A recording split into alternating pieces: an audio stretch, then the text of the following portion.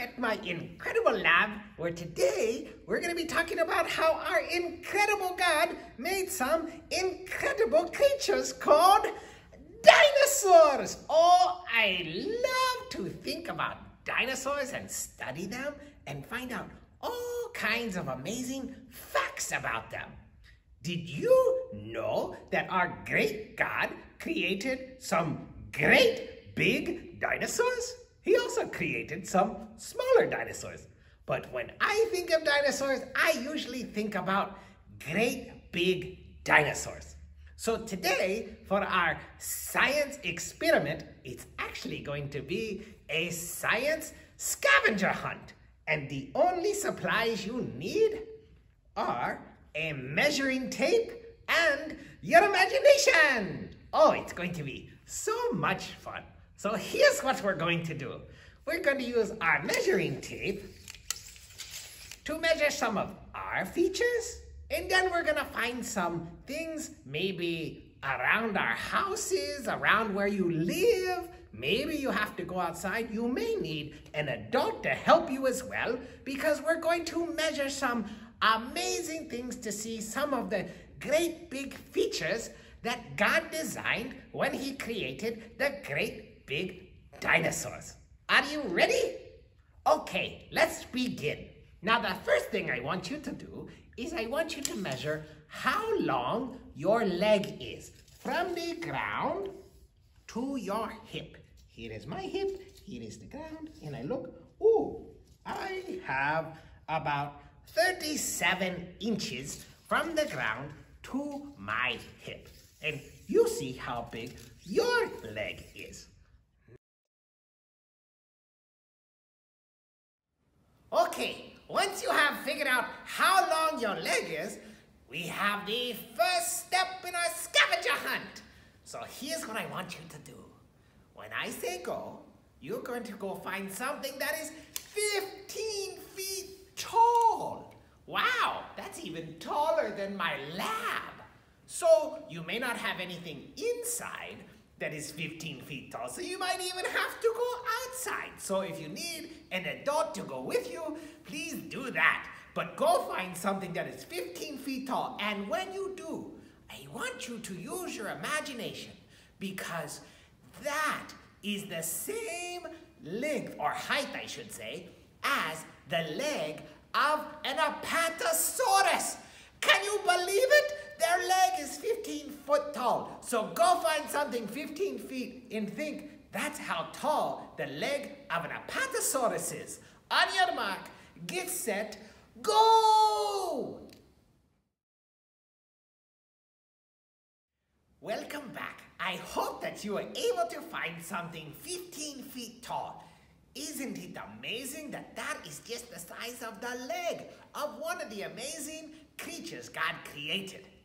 The second thing I want you to do is go ahead and use your tape measure to measure your foot. Okay, my foot is about, ooh, 11 inches long. Just a little, my foot is just a little smaller than a foot. Oh, that's so funny.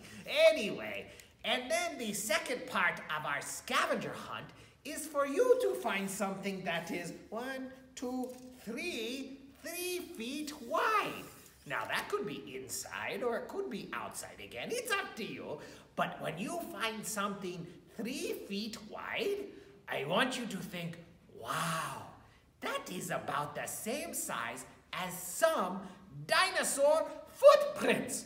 Whoo! And think about how big their foot would be compared to your foot. Are you ready? On your mark, get set, go!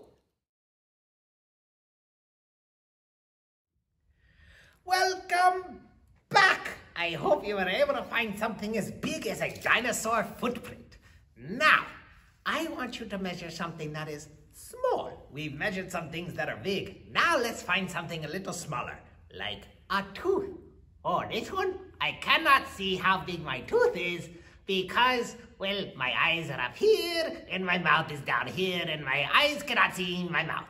But I could have a friend help me and tell me how big my biggest tooth is, okay? Now, once you've done that, we are going to go and do our third scavenger hunt. Oh, this is so much fun.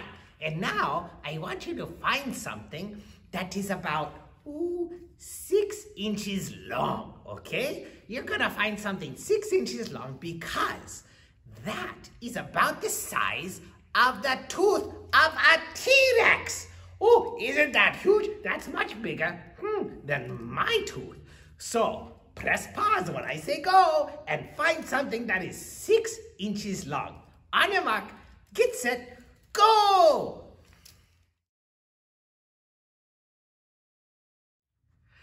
Welcome back.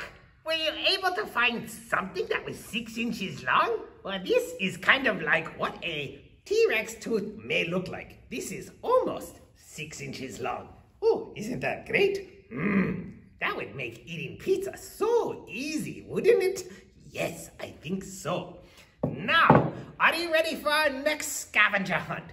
This one is a little more difficult. You probably need some help with this one too. Now, I want you to measure how tall you are, okay? You may already know this, but you can still do it again, okay? If you want to, you can also measure how wide you are. Okay, but that doesn't matter. So measure how tall you are. And now we're gonna go find something very tall, or it could be very long as well. You need to find something that is 30 feet long. Wow, 30 feet long. And when you find this thing that is 30 feet long, I want you to imagine a Triceratops. Oh, isn't that a cool dinosaur? Because a Triceratops was about 30 feet long. That is huge. And they're not even the biggest dinosaurs that God created. So when I say go, press pause and find something 30 feet long. On get set, go! Welcome back. I hope you were able to find something that is as long as a Triceratops. Very good. Now, did you know that the book of Job talks about a huge creature called Behemoth? And in the description of Behemoth, the Bible says it had a tail like a cedar tree. Now, I know a little bit about cedar trees. Maybe you know this, maybe you don't. But did you know that some cedar trees are 40 feet high? Whew, that's bigger than the Triceratops we just measured. But you have to stand it up. But cedar trees can grow to be 200 feet high. That's many times bigger than a Triceratops. Wow! And did you know that a cedar tree can be somewhere between 8 feet and 12 feet wide? So here's your last scavenger hunt. You need to go and find something that is about 8 or 12 feet long or anywhere in between there, okay? So when I say go, go find something that is about 8 feet long or up to 12 feet long. On your get set, go!